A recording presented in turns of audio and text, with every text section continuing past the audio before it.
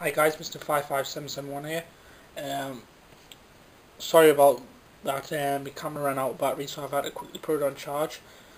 And I've, I've opened the last four packs what I have. So the last four packs include a Rayquaza Holo. Looks awesome. Yeah, um, I pulled a, a multi-energy and another Cacturne EX, so that one's up for sale if anybody wants to buy it. And another Raichu EX I pulled.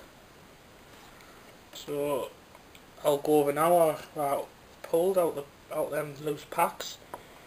Uh, I've got a Raichu, Cacturne, Multi Energy, Rayquaza Holo, a Regice EX, another Cacturne EX, a Dusclops EX, a Blaziken Holo, Deoxys Holo, Exploud Holo, and these are the, the energies.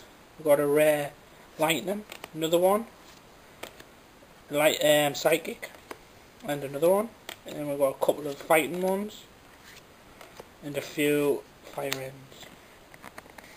Yeah, so I've got another huge pile of common and uncommon, so if anybody wants to set of them, just PM us and I'll, I'll you can buy a set from us. And also my reverses, somebody can buy them because I don't collect them. And next guys, I'll be opening my EX Crystal Guardians booster box.